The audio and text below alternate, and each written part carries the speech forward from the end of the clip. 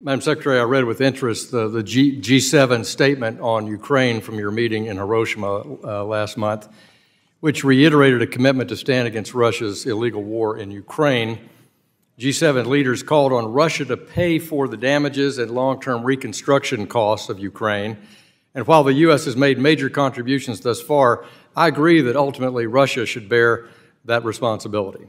That's why I'm working on a bill called the Ukraine Reconstruction Act which would ensure that the United States has the authority it needs to take title to Russian sovereign assets and transfer them to an international escrow fund to pay for war damages.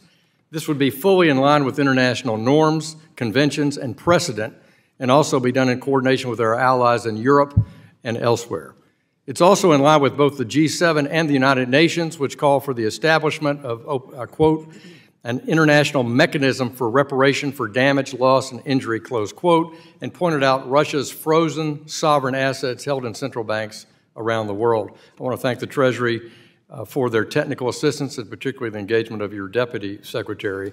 Uh, do you agree that this is the right approach and that legislation of this nature is necessary?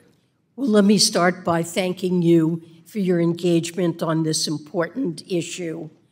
Um, from the outset of Russia's illegal invasion of Ukraine, we've taken decisive steps of immobilizing Russian central bank reserves and working alongside our allies and partners, we have immobilized jointly about $300 billion worth of reserves. As you noted, um, we're committed um, with the G7 to ensuring that these assets remain immobilized until there's a resolution of the conflict in which Russia pays for the damage it's caused.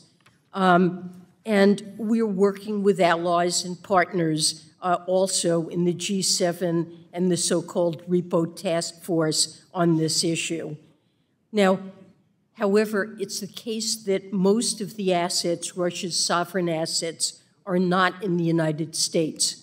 Um, and for that reason, it's critical that any next steps we take be done via careful consultation with allies and partners in a coordinated approach.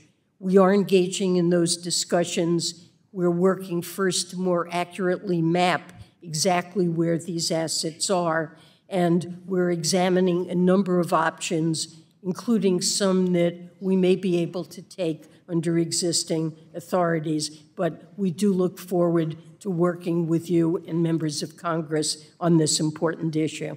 I think that's uh, important. I thank you for that. And I do think you're, you're right in each of the respective legal systems among the G7 nations and allied nations, they need companion type legislation. Thank you for that. Uh, you chair the Financial Stability Oversight Council, the FSOC. And as chair, I assume it's fair to say that any report FSOC puts out, you put eyes on and have taken a look at. Is that true?